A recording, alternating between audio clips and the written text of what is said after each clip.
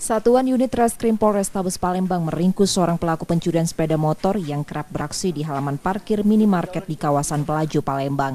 Tersangka, Daus, bahkan dihadiahi timah panas petugas lantaran berusaha kabur dan melawan saat akan ditangkap saat perjalanan ke rumahnya di Jalan Tegal, Binangun usai pulang kerja.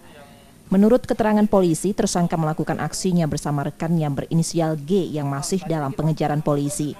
Cara yang dilakukan tersangka dengan mengintai pengunjung minimarket yang hendak berbelanja.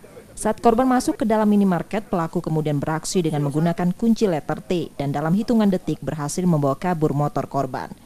Setelah korban masuk ke Alfamart, mereka baru beraksi untuk mengambil sepeda motor milik korban. Dan aksi pelaku ini sendirian apa ungguan? Berdua, jadi satu orang yang menjaga dan bawa motor, yang satu lagi metik. Barang bukti yang kita amankan kemarin? Barang bukti kita amankan satu buah sepeda motor milik pelaku pada saat digunakan pada saat melakukan. Berapa kali sudah pengakuannya? Kalau menurut keterangan dari pelaku, baru satu kali ini. Akibat ulahnya tersangka terancam hukuman 5 tahun penjara. Yudi Kiswanto, Kompas TV, Palembang, Sumatera Selatan.